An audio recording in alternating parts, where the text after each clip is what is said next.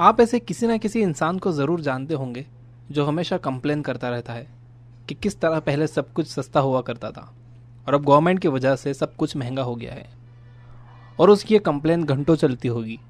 ऐसा भी नहीं है कि इन्फ्लेशन नाम का कॉन्सेप्ट मौजूद नहीं है, या उन्हें इसके बारे में पता नहीं है। जो लोग मेंटली स्ट्रांग नहीं होते हैं, वो उन चीज़ों पर फोकस करते हैं जिन्हें वो कंट्रोल नहीं कर सकते।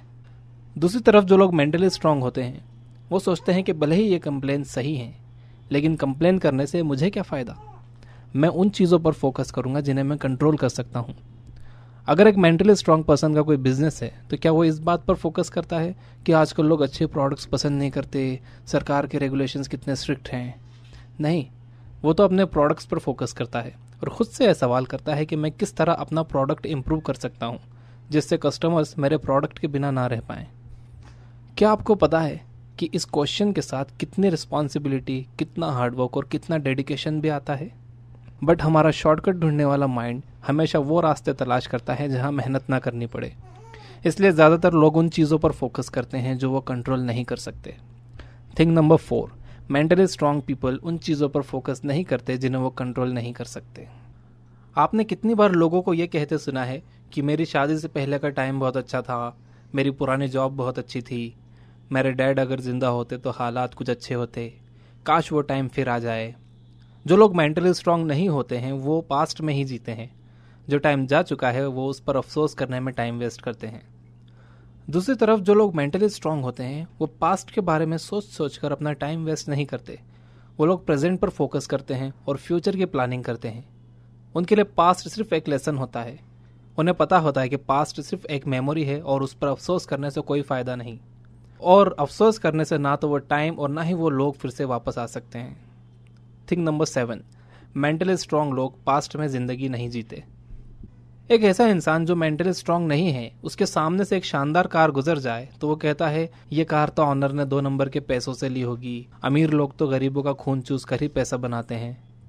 और सिर्फ़ पैसों की ही बात नहीं है, जो लोग मेंटली स्ट्रांग नहीं होते हैं, उनकी सोच मोस्टली हर बात में नेगेटिव होती है। अगर कोई क्रिकेट अच्छा खेलता है तो उसके बारे में कहेंगे, वो तो बस कमज़ोर टीम के सामने अच्छा खेलता है। मैं कहता हूँ, वो आपसे ज़्यादा प्रैक्टिस करता है, उसकी टेक्निक कितनी अच्छी है। और अगर जिम में कोई अच्छे शेप में दिख गया तो कहेंगे कि उसने पता नहीं कितने एस्टेरॉइड से ऐसी बॉडी बनाई होगी। एंड आई एम लाइक हर कोई अच्छी बॉडी बनाने के लिए एस्टेरॉइड यूज़ नहीं करता। आई नो इस बात पर बिलीव करना आपके लिए काफ़ी मुश्किल है बट अगर वो स्टेरॉयड पर है भी तो उसका वर्क एथिक आपसे हंड्रेड टाइम्स बेटर है। अगर किसी के पास अच्छी बाइक देख लेते हैं तो कहते हैं, ये तो अमीर बाप की बिगड़ी हुई औलाद है। कमान यार, ज़रूरी नहीं है कि अमीर बापों की औलादें बिगड़ी हुई ही हों।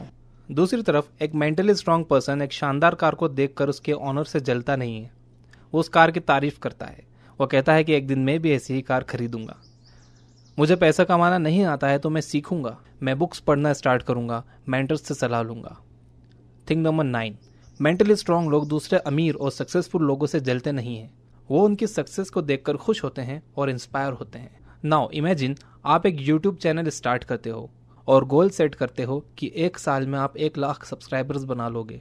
उसके लिए आप एक एक्शन प्लान बनाते हो और वीडियोस बनाना शुरू करते हो। एक साल गुजरने के बाद आपको सिर्फ़ सौ लोग सब्सक्राइब करते हैं और वह भी मोस्टली आपके फ्रेंड्स और रिलेटिव्स जिनको आपने फोर्स किया था सब्सक्राइब करने के लिए। फिर भी आप सेम एक्शन प्लान पर काम करते रहते हो सेम बोरिंग वीडियोस बनाते रहते हो। इस उम्मीद पर कि शायद अब अगले साल आपको एक लाख सब्सक्राइबर्स मिल जाएँगे। एंड फाइनली आप यूट्यूब से तोबा कर लेते हो और सोच लेते हो कि यह आपके बस की बात नहीं है। और अब आप एक नया गोल सेट कर लेते हो कि अब आप एक ठीक ठाक सी जॉब कर लोगे। एक अच्छी जॉब भी नहीं, एक ठीक ठाक सी जॉब नाउ एक मेंटली स्ट्रांग पर्सन यहाँ क्या करता? वो अपना गोल चेंज करने की जगह अपना एक्शन प्लान चेंज करता। वो ये सवाल करता कि मेरे वीडियोस लोग क्यों नहीं देख रहे? ओके okay, मेरे वीडियोस बोरिंग हैं। सेकंड क्वेश्चन मैं अपने वीडियोस इंप्रूव करने के लिए क्या कर सकता हूँ? ठीक है तो अब मुझे इस तरह के वीडियोस नहीं बनाने अब मैं दूसरी तरह के वीडियोस बनाऊँगा। वो वही सेम बोरिंग वीडियोस बनाने की मिस्टेक बार बार नहीं करता। इंस्टीड वो अपने फेलियर से सीख कर एक नए तरह के कंटेंट के साथ वीडियोस बनाता। Thing number eight mentally strong लोग एक ही मिस्टेक बार बार नहीं दोहराते।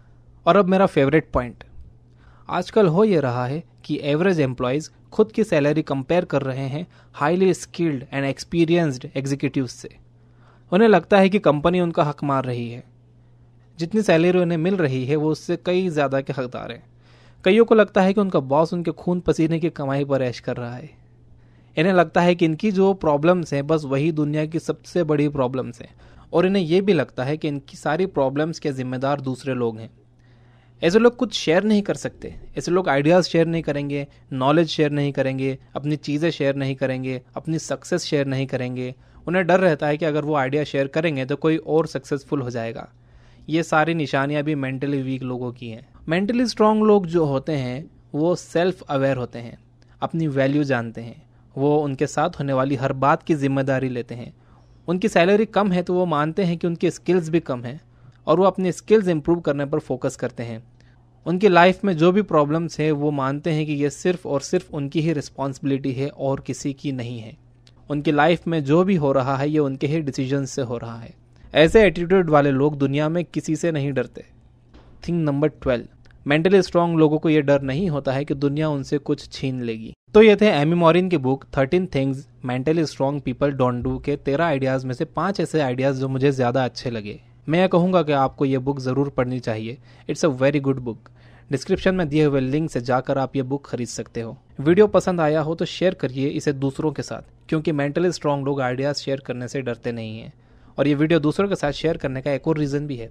अमेरिकन एजुकेशनिस्ट एडगर डेक का कॉन्सेप्ट द लर्निंग पिरामिड के मुताबिक, जब हमें किसी वीडियो से नॉलेज मिलता है तो हम उसे सिर्फ़ 20 परसेंट याद रख पाते हैं। बट अगर हम उस नॉलेज को अपने लाइफ में अप्लाई करते हैं और दूसरों को भी सिखाते हैं तो यह हमें 90 परसेंट याद रहता है। वीडियो पसंद आया हो तो लाइक ज़रूर करिए।